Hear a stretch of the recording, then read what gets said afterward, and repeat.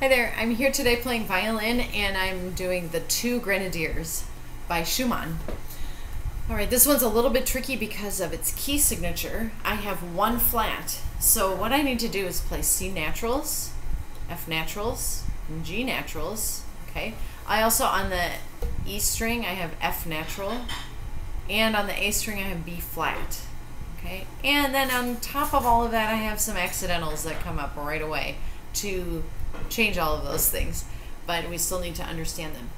I also have this rhythm, dotted eighth and sixteenth. So my rhythm uh, would sound like this: one, two, ta three, four, one. One, two, ta three, four, one. If I took away my slur,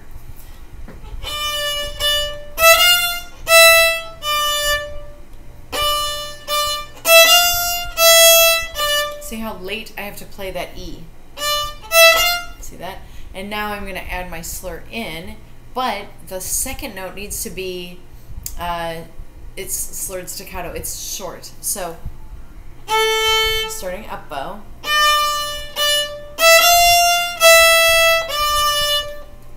Up, down, up, up, down, up, down. Just do that a couple of times. Up, down, up, up, down, up, down. You want to have your arm sort of memorize what it's doing because you're going to have a lot of things going on on the left side. Okay, so maybe let's do this with an open A. Up,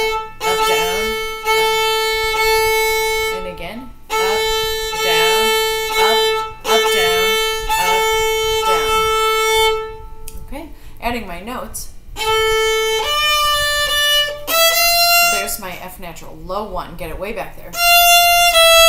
One, two, three, four. Sharp. They change this accidental. Change their mind. So C sharp, B natural on my tape. Two, three. Low one. Again, F natural, just like the beginning.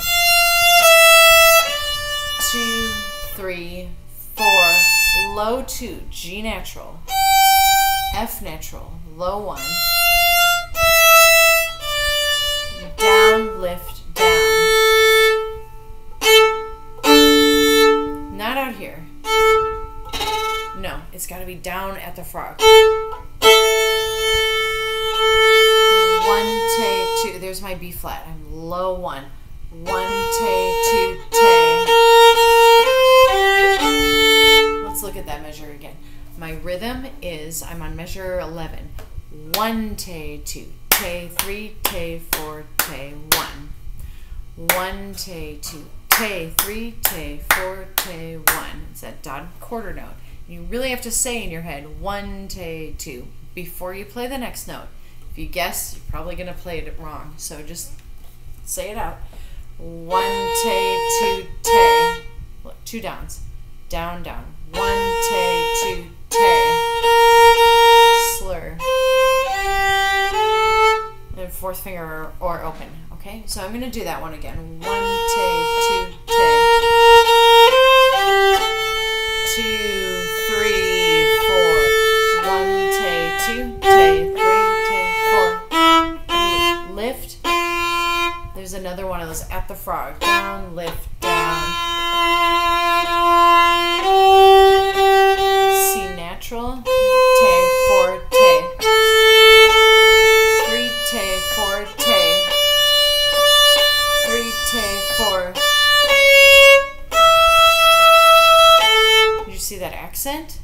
accidental, the C sharp. And also, we've had a crescendo. So you notice that at 11, you're piano, but then 15, a crescendo. They wrote it out, the letters, and then in 16, they give you the symbol for a crescendo. So I need to be getting louder as I go. Uh, we just had an accidental at 18 and measure 19 più mosso more motion just like moving it along a little bit okay one tay two tay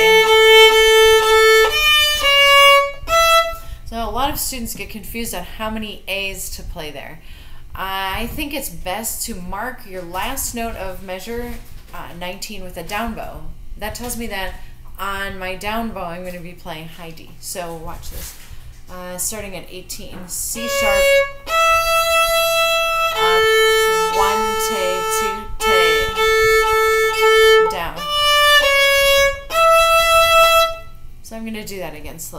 This is a tricky spot. One,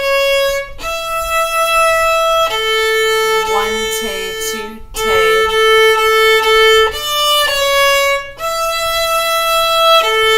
One, two, te. Slow down. All just on those couple notes, okay? Then moderato, it's a little bit, it's like back to your original speed. Look at this. At the moderato, we have two sharps, F sharp and C sharp. So we've changed from having all these low ones and F naturals and everything to just F sharps and C sharps. Keep the low two on the E string because that's a G. That's a G natural. You still need that. Okay. So I'm on the pickup to the moderato at the key change. One te, two te. One, two, three, four. So that's a tie from two beats to an eighth note. So it's two and a half beats. So one, two, three, four. Louder. One, two,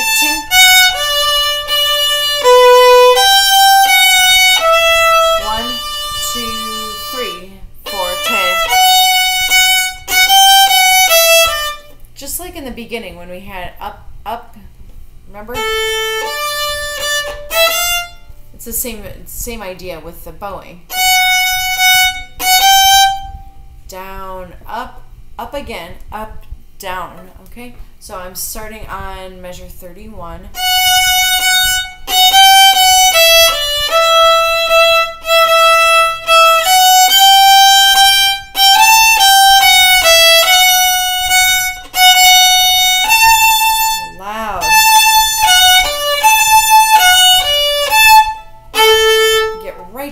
Frog there. That's fortissimo, as loud as you can play. And then there's railroad tracks or a caesura. You will need to stop for just a second and then go on. So I'm starting at uh, measure 35.